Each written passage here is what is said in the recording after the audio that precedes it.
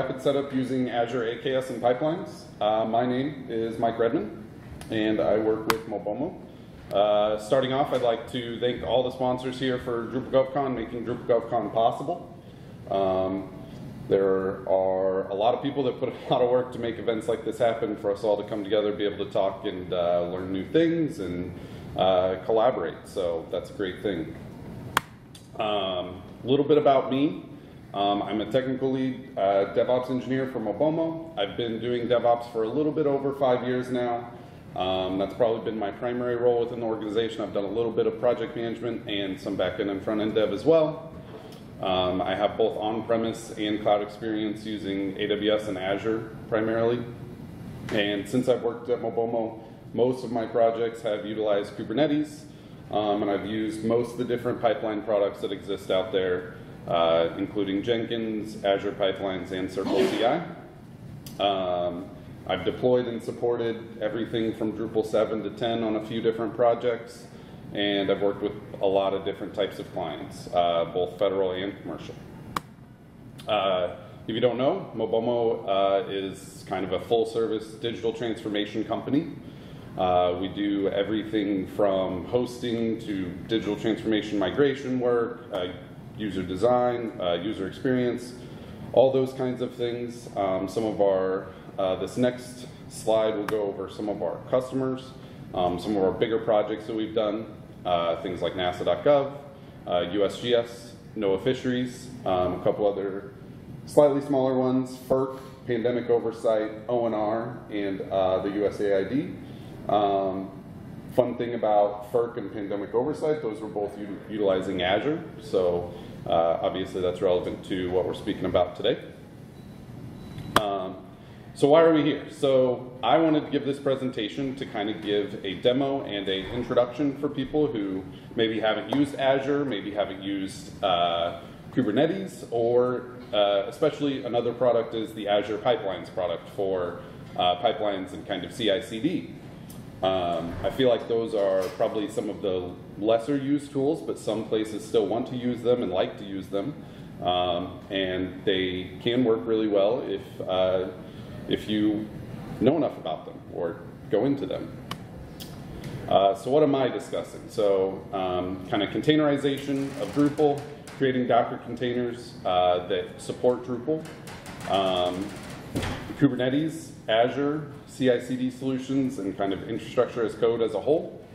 Uh, who here has experience using Docker and containers with Drupal? How many of you have experience using Kubernetes? How many in Azure? Perfect. Um, so yeah.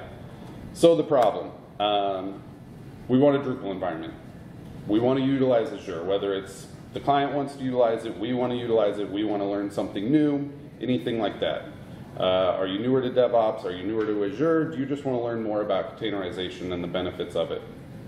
Um, so the next couple are like, you know, common Google questions that are easy to look up and get different answers. Uh, but why containerize? Why use Kubernetes? Why use these things?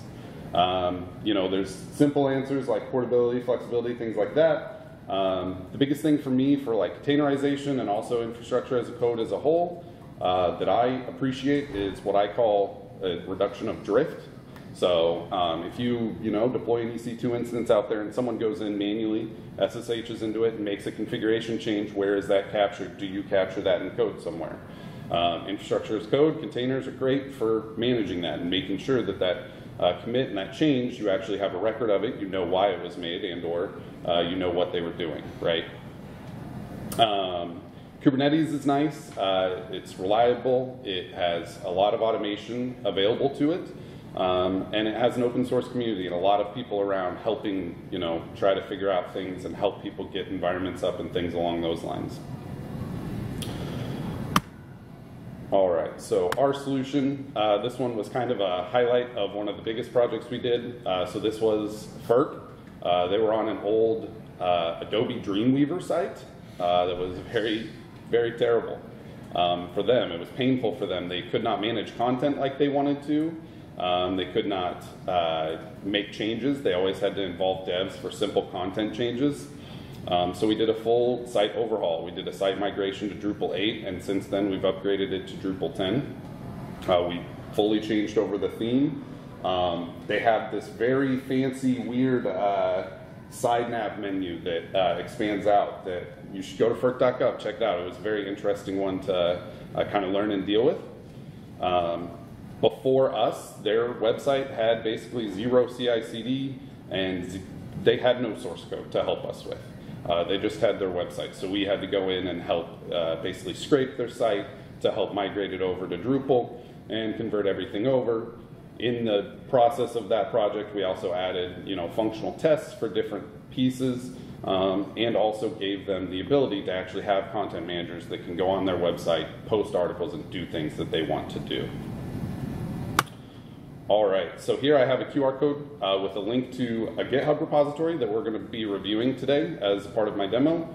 Um, it is my repository and uh, has a number of changes. I've gone through a few different things on it. Um, it's all pretty basic, but it's meant to serve as kind of a jumping point for, hey, here's a very basic Docker configuration to build up a Drupal site and uh, also be able to um, deploy that into Azure and use an Azure pipeline and things like that. All right, so next we're going to kind of jump into the demo and jump in. All right, so I have made everything very large. Let me know how that looks. Does that look okay? Can you read that? Yeah. All right. So, uh, the repository looks uh, something similar to what you see on the left. We have a few folders here that I'll explain. Um, Drupal demo is a Helm chart that is utilized with Kubernetes. If you don't know what Helm is, Helm is a package management software that is open source and used for Kubernetes. Um, a lot of people like it, some people don't. You don't have to use it, it's totally optional. Um, it is something that I have used and does make things a little bit easier, in my opinion. Uh, inside Nginx config is, as you can guess, an Nginx config. Inside pipelines is a pipeline YAML file, and webroot is just a basic uh, Drupal install webroot. I'm not uh, going to be actually interacting or doing too much within Drupal. Uh, I imagine most of us have some experience doing that, so this is really just a demo to the Azure side and getting things in there. Uh, so the big things you'll notice inside the root of the repo is a Docker Compose file and a Docker file. So we'll go ahead and start with Docker Compose. Uh, Docker Compose is a very handy uh, service that allows you to define uh, different services and different containers that you want to build out and bring them up and take them down. Um, things along those lines. I am using very basic containers here where I am basically just uh, using like a canned MySQL image for local. Uh, so we'll actually bring up a MySQL container for your database. Uh, and then I'm using uh, this Docker file, which we'll review in a second, for Drupal PHP. And then uh, web server for Nginx to do uh, front-end web proxy, right? Uh, I do have some extra stuff in here for Certbot in case you wanted to take this to the next level and do SSL and everything like that. I'm not doing any of that in this demo today. Um, so in reviewing this, this is pretty simple. We're going to have four different containers uh, for our four different services. We're going to have a MySQL container, a Drupal PHP container, a web server container, and a Certbot container. Um, and to go over the Drupal PHP and the web server containers, I have a Docker file that uh, is where those are built from. So I did include here, um, we'll go over the README in a second, but one of like the next steps if you were to actually want to use this project and kind of jumpstart a new project would be integrating some of the common Drupal things we do like using Composer. Uh, so this is an example of how you could use Composer, build the Composer stuff, and then you would copy it back out into your PHP container so that you don't have to keep Composer on your prod machine. Um, here's where we have the uh, stage of the Docker file for the PHP prod container. I'm just pulling a base Drupal uh, container using FPM Alpine, and I just showed a couple sample commands from Docker uh, to set the time zone and set the work directory. And for Nginx, you can see uh, I'm just using a basic Nginx uh, container from their repository, setting the version and copying over that Nginx config that I have in the repo. And so to demo uh, kind of what these two files do and how they're able, we're going to hop into our uh, terminal. And I am, which actually, sorry, I should go over. In the README at the very beginning is we have the items required to do most of the tasks in this repository. So there are a few um, prerequisites, primarily Docker. You will need Docker to do Docker or Docker Compose commands. Um, and then for all the Azure related stuff, you will need Azure CLI and Azure subscription and uh, Azure DevOps organization. So you can create one of those. They do have free tiers for uh, the DevOps organization. As far as deploying resources into Azure, they do have free tiers for that stuff. I don't think Kubernetes comes very free though. All right, so if we come in here and clone that repo and go into the repo root, you can do docker compose up, and we'll just run it in the background. It should go through and create all of our containers and create all of that. We can now do a docker compose ps, and it should show us all of our running containers. Uh, so we can see the state of all three of the main containers are up, and then the Certbot one exited because I don't actually have that doing anything yet. Um, and if we come here to our browser, we should be able to see, hey, we have a basic Drupal site, nothing really done to it. Um, and so that's kind of the beginning of, hey, here's a local environment, here's something you could at least get started with. The next question is, okay, well, let's say we want to push that into Azure, what do we need to do? And so that's where, um, next into the re, uh, resource development, I talk about different ways of managing infrastructure as code. Um, there are lots of different solutions out there to it. Uh, I kind of go through a description here. I think Terraform's probably my preferred or the one that I've used that I enjoyed the most. Uh, but Azure does have an out-of-the-box, uh, what they call ARM templates, Azure Resource Manager templates that you can go in. And here's a link to a guide. Um, I can click that link or grab it really quick that will actually walk you through how to deploy a Kubernetes cluster using an Azure Resource Manager template. And uh, it works as well. Um, the Resource Manager templates don't do as well of a job of managing state as what Terraform does. Um, in my opinion, I think that's the biggest difference. Um, but if you build this into your CI pipeline, you definitely could do the same thing. It would just take a little bit more effort. Uh, as a part of that, I also linked the same guide using Terraform. So you can come here and there's a few different uh, guides for how you can set up uh, a few different Terraform files and deploy an AKS cluster using Terraform as well. Um, so then uh, kind of went over local development, how to bring up the containers, how to bring them back down. So the next step is, okay, we have our local development, we have an AKS cluster out there. How do we actually connect these? How do I deploy these containers to my cluster and make that work? And so that's where uh, you will need to go to Azure DevOps um, and create an organization first. So our organization is Mobomo, and then we have a project uh, called Drupal Demo, and that's where uh, I created this project. And so inside here, Azure DevOps as a whole, as a solution, offers uh, very similar things to what GitHub does. You can actually house your repos here and everything like that. It also has its own ticketing system and boards. Um, I've used both of those. They're both fine. Nothing kind of great to write home about, nothing terrible. Uh, but the pipelines and the test plans artifacts that they offer, I think, are very great solutions. Um, I think they're uh, very competitive to what the other things are out there. Um, so, like pipelines, I think a lot of people use Jenkins, Circle CI, things along those lines. Um, and so as a demo, I will show our pipeline file really quick. So here I have a sample pipeline. Um, it's all as code, and you can see we're doing very simple stuff here. Uh, we have some variables that we're setting here at the beginning, which I will go over. We are pre-building images and then pushing those images into the uh, container registry that we also created to house those containers. Um, and then we are running a Helm upgrade deploy script. Um, so first we have to run, uh, we have to actually install Helm and get it onto the worker, and then we're running a Helm upgrade to run this Helm chart to deploy to Kubernetes. And then after that, we just do some cleanup of everything and grab logs of our Kubernetes deployment. So to kind of show how to build this pipeline into DevOps, I am going to actually copy and paste it And we'll just rename it demo pipeline.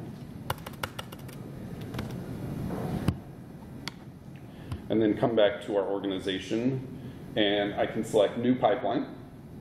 And this is where it's kind of cool. It actually hooks into your repo wherever you are, whether you're using Azure repos or Bitbucket, GitHub, any of those. Um, we're using GitHub, and so what it would normally do whenever I select GitHub here is it would actually reach out and check, uh, ask me to log in and check against where I'm logging into. I've already done that, I'm already logged in, so I'm just gonna select Azure Drupal GovCon, and before I forget, I need to commit that new file that I added.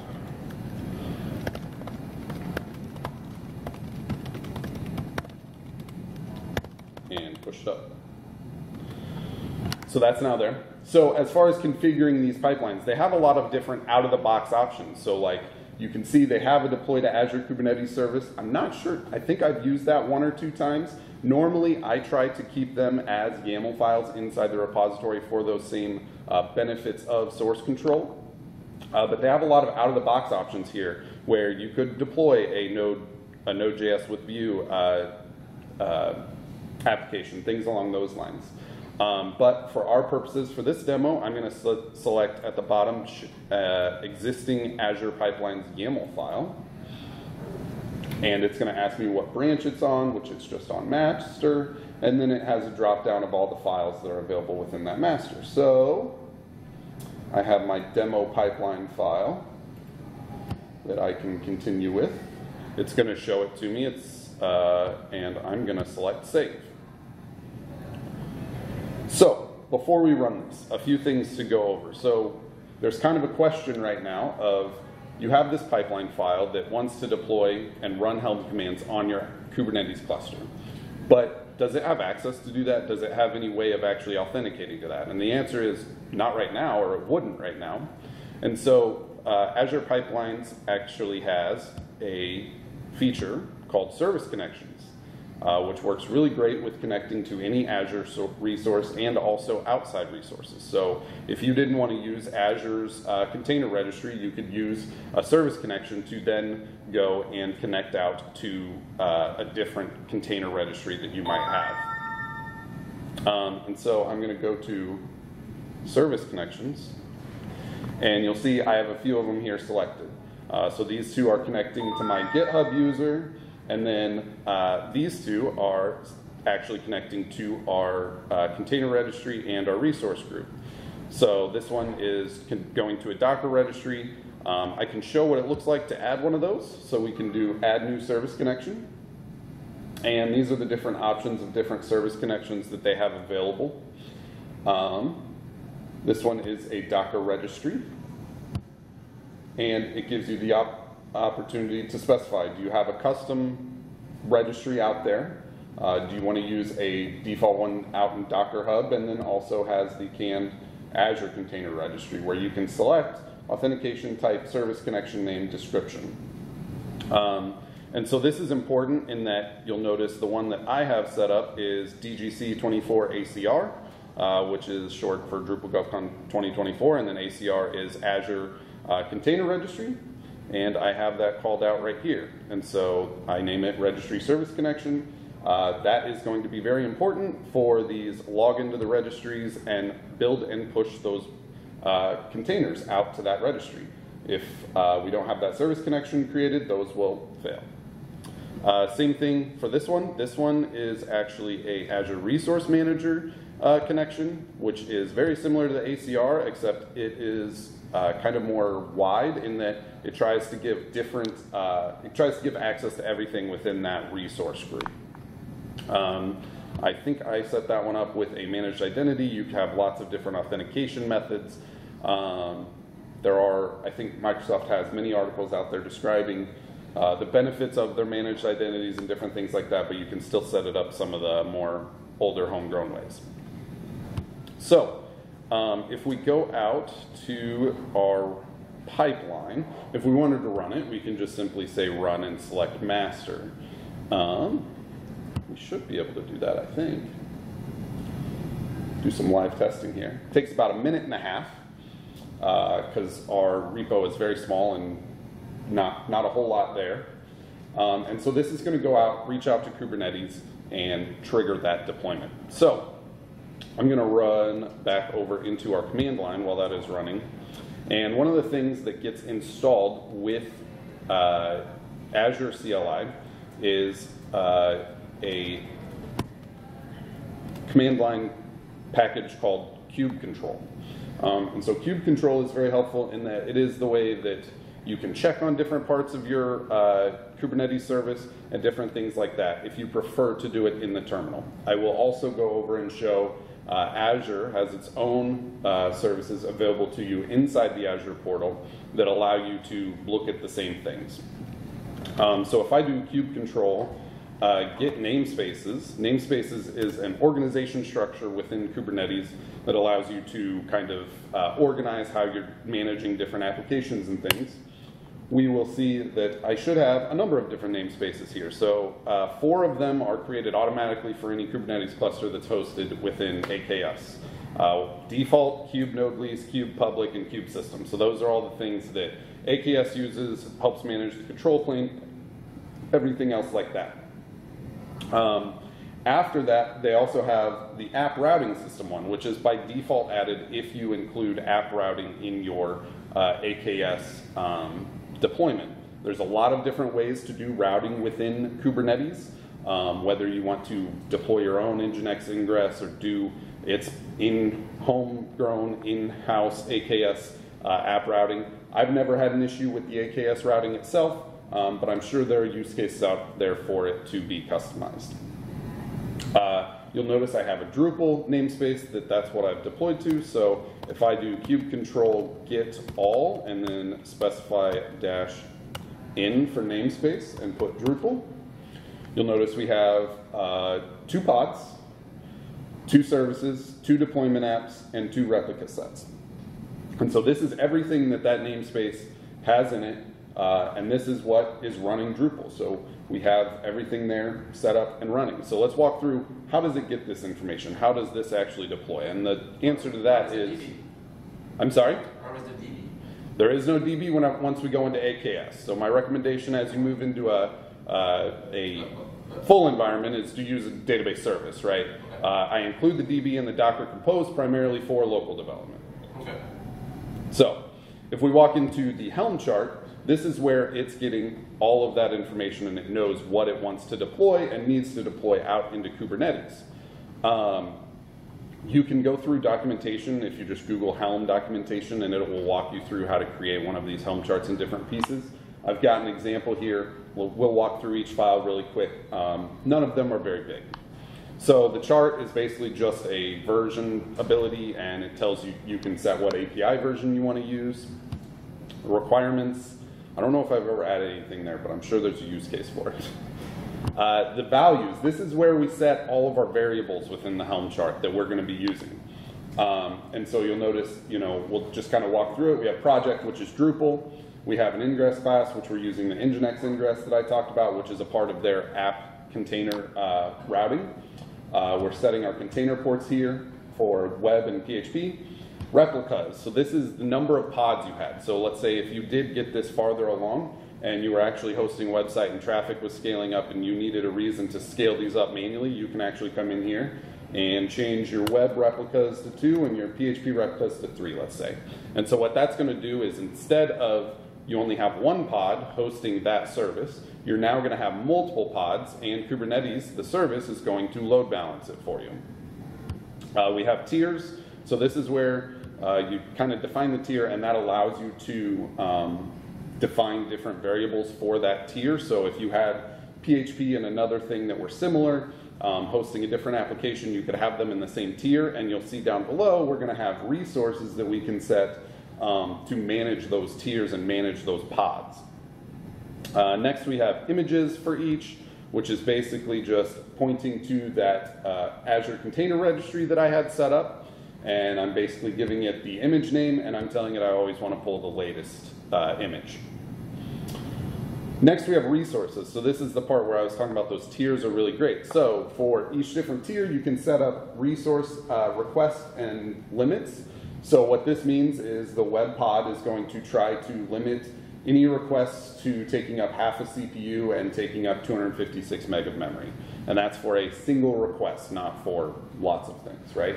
And then the limits of what it can actually take up as a whole, as a whole pod, is one whole CPU and two gigs of memory. And so this is important as you're planning out within AKS what your node sizes are and also what your pods that fit within those nodes are. So you can imagine a node is just a VM out there that has some amount of CPU and memory available to it. And if you have these tiers assigned to certain pools of nodes, um, and you had you know limits of two CPU on one and six containers, but the whole thing only has four CPUs available to it, you've got a problem, or you will likely hit a limit whenever it comes to that, right? Uh, next is PHP, same concept, same kind of stuff. And then at the end, we have the environment variables. So these are variables that you can actually set uh, that get passed into your containers whenever you run the Helm chart and it builds your containers. Um, I've, as you can see, left out most of the MySQL stuff, but that's where you would configure your connection string more or less to your MySQL database. Uh, you would also replicate that in your settings.ini, right? Um, they do allow for you to do secrets and secret key references. So inside Azure, they have a service called Key Vault, very similar to uh, other services, and basically the same thing. You can just reference, I want to use this secret, and because it has that um, built-in service connection, it's able to reach out, get that key, and use it from there instead of actually having to have a password or something like that in plain text. So, Yeah, you know, I haven't seen this, this uh, file before, but Sure. I'm familiar with Azure DevOps and pipeline YAMLs and so. I'm looking at this and I'm thinking to myself, oh, you're putting a uh, password into your uh, repo. Yeah, I'm not. That's the thing. That, that's where this is connecting. It's going out to a Key Vault service that is holding that. And it's basically going to have that permission based from the service connection where it can reach out and get that password from the Oh, service. That way we don't have to put it in plain text code, right? Got it, thank you.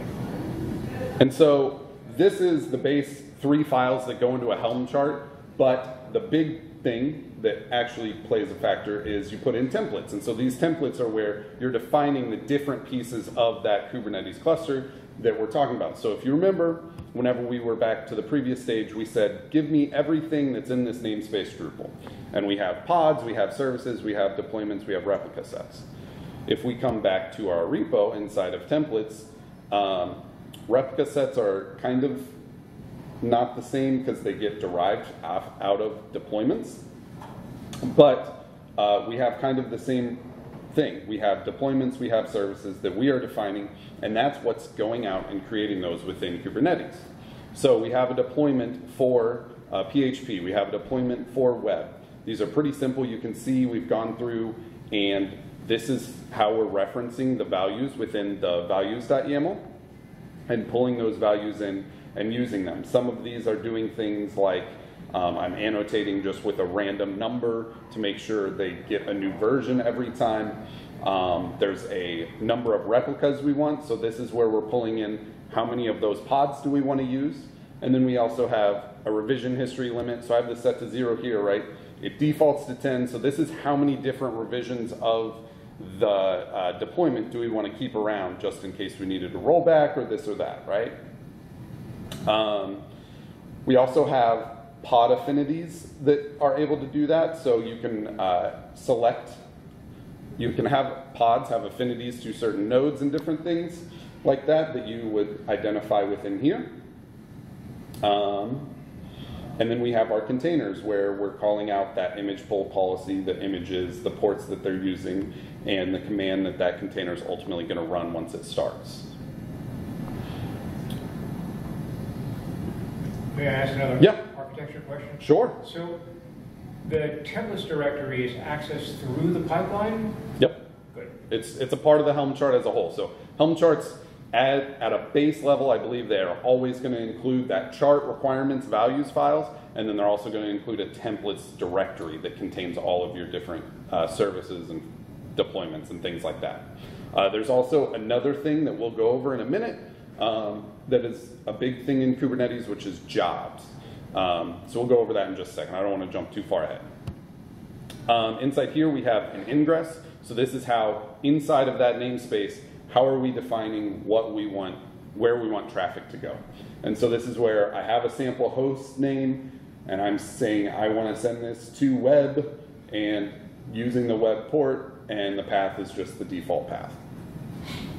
And then we have two services that we defined, which again, pretty simple, basic stuff. If you go to uh, Helm chart repos, they'll give you something similar to this as an example. Uh, basically just saying we want to deploy that pod. This is how the service does all of the load balancing of that service, right?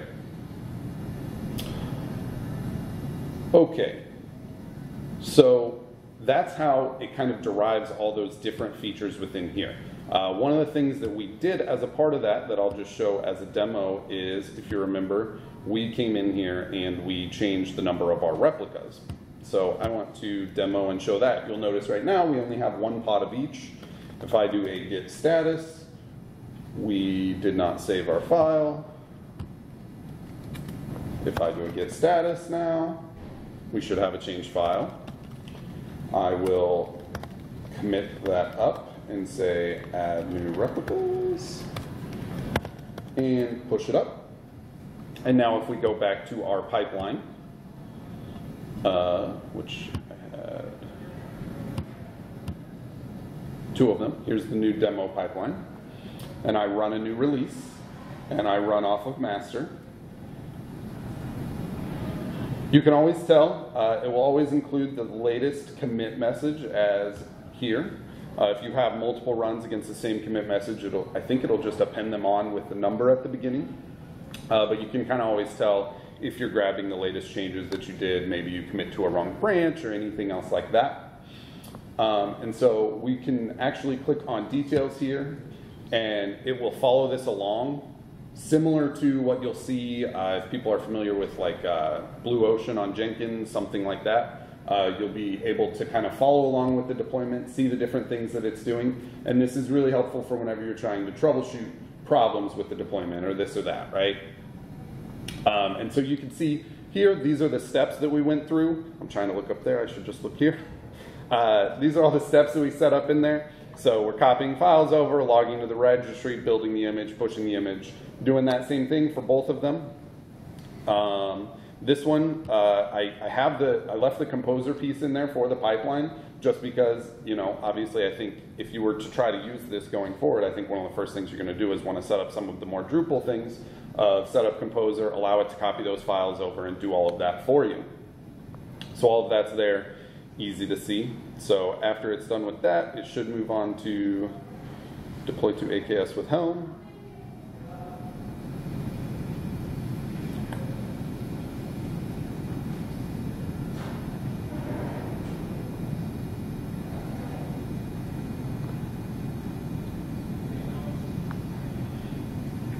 And so on the subject of Helm, so I like it, I prefer it. I think it's a really nice way to automate and do certain things within the Kubernetes cluster. It is by no means required. Uh, you can do everything that we're doing with Helm through uh, just more commands using uh, just kube control apply and things like that. And uh, a lot of the templating and the template formatting is very similar. Um, but Helm just makes it a little bit easier and a little bit cleaner in my opinion. Um, there have been concerns in the past, like I'm saying in the past, probably four or five years ago, of certain security things with Helm, which is actually why you notice in my pipeline, we actually add Helm to the worker, do the deployment, and then remove it. But as far as I know, I don't think there's been any issues with it since then. So now that our Helm upgrade is done, if we come back and go up and get everything out of our Drupal uh, cluster, you'll notice we now have five pods. We have three PHP and two web. So it actually scaled that up. The services are going to automatically um, load balance to those different pods. There are different ways that you can um, manage how they do that. Like, do you want to do one request to each? How do you manage that? Uh, I'm not getting into that as part of this demo, but it's something you can certainly research and uh, do on your own. And yeah, that's kind of an example of scaling up, changing something in the Helm chart, running the pipeline, going through all of that, right? Um, so the last thing I wanted to talk about and kind of show is I added this future uh, future folder because another thing that you would want to add if you were to actually build this out and go into a full-on Drupal website is a way to run site updates, right, and config updates. So uh, the way that we have accomplished this on a few different jobs is we use two different things called one job site install, one job site update, very similar to what you're used to inside of Drush, right? And so these are jobs that would get created as Kubernetes, and with Helm, you actually set a hook as to how these happen. Um, so site install would be post install. So any the first time that you install that service, it's going to try to hook and run that job. And then we have post upgrade. So every time you try to upgrade that service, it's going to grab that hook and try to run this job. And so what we did to actually make this work is we utilized, um, I think it's a contrib module uh, called Robo, and we utilize a Robo file to help us manage and make a little bit of that command cleaner. And so I included these in the future uh, folder, and then I also included the Robo file, which I ripped out some, you know, terrible junk out of it to make sure it was safe to go public. But you'll notice we have Robo available to do remote site updates, and it's going through kind of your general usual stuff. Setting the website into maintenance mode, doing a cache clear, updating the DB, importing config, doing another cache clear. Uh, we have some specific um, stuff that we don't need, but and then turning off maintenance mode and doing a cache clear. And should all that go successfully, the job's going to run successfully, and your site should be updated with any of the changes that you have. Um, I'm sure there's other ways or possible ways to do the site update, site install. This was just the clean way that we found to do it. Um, The Drush deploy uh, um, has encap- encapsulated basically the, the steps you're doing right there. Really? FYI. yeah, You know, it's, a- it's real handy. We use it all the time. cool. Yeah, yeah, probably a better way to do it then. But Um, it's the same concept, except instead of it being six or seven lines, it would just be one line. It's one, yeah. Um, so yeah, going back to my README, uh, kind of to finalize and finish up here. Uh, this project was something I just built um, as a reference, kind of a jumping off point, just to demo Azure, AKS, and primarily probably pipelines um, for people who maybe haven't used it, haven't seen it, things like that. Um, I kind of talk about, uh, you know, continuing development of it would be adding in Composer, adding in static file storage as blob storage. You can add that as a volume mount inside the Helm chart. Um, things like that. And then obviously at the end, I say uh, I left most of the database stuff empty because if you're pushing to AKS and using AKS, I would say I would recommend using a database service versus trying to use a database pod. I know both technically work and can be feasible. Um, yeah, that's all I have. What questions do we have?